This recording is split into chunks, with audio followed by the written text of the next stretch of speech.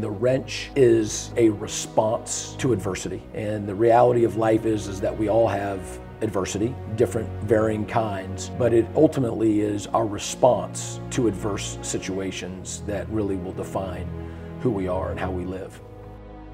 What was the first time that you saw or heard about the wrench? Um, in, in, the spring, when all the full time guys go, were hitting the road recruiting, Coach Creighton was just kind of formulating some things. And, you know, obviously, uh, as a player at Wabash, we still talked about closing the gap and everything. And, you know, that, that's been a mantra of his for a long time and something that I uh, personally ascribe to. And uh, he was talking about a way to show that. Um, and one of the ways that he was talking, and you know, we were getting into the blue collar work ethic of the state of Michigan, especially the east side of the state. And uh, he had talked about, you know, on a pipe wrench, they have that adjustable end. Um, so, you know, I did a little digging, and the tool was made by a, a company called RIDGID Tools, and they're in Strongsville, Ohio.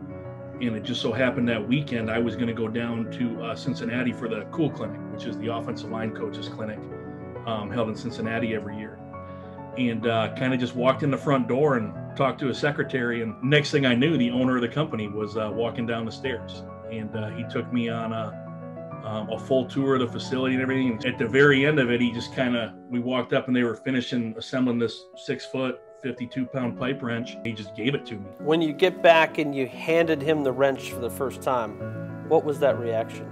Carried it up there and I gave it to him.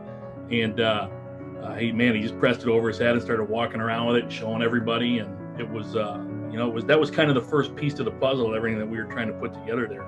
You know, when you saw it, you knew right away, man, you had to be a dude, you had to be a guy to carry that thing, and it was it was tough. I mean, it was something that you, you couldn't that you could it just resonated with the blue collar tough mentality that you had to do to be to play uh, uh, in eastern michigan. It's just a it creates a mindset running out of that tunnel, um, knowing what the work it, that, that's been put in and seeing that reinforced before you even take the field, like it puts you in the right frame of mind to go out there and attack. The hammers, the wrench, all the things that we would do, you know, when those things are, are, are come off the wall and are carried out on the field, it signifies all the stuff that goes into um, you know, going out and, and going after those 12 wins, those 13 wins every year And like I said, Coach Creighton's the very best when it comes to elevating those moments that you you remember them long time, long after your time there wearing the green and white. I think I think of it as you know people say adversity, but I think of it as life's best swing at you. Something's winding up to swing at you, and it's the wrench, and it's how you take it, how you react to that, and then the outcome from it.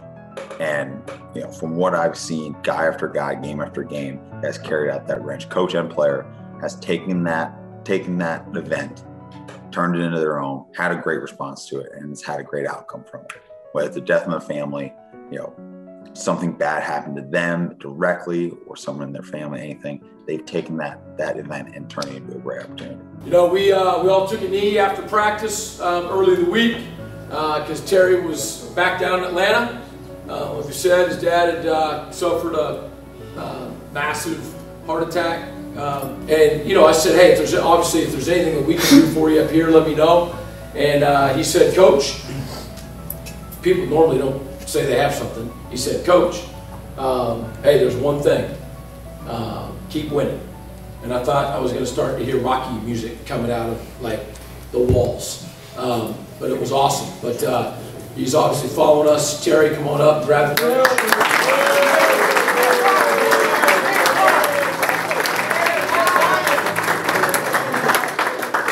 That was back in 2018. And that was a big game. My family was actually going to come to the game. So that was really special for me to be able to carry the wrench at that time because, you know, my dad is, you know, he's an extremely important figure in my life. So by far, arguably the most important. So being able to carry the wrench, um, being given that respect by the team, um, that was very special for me. And I intend on making my last performance here at Eastern pretty special for him.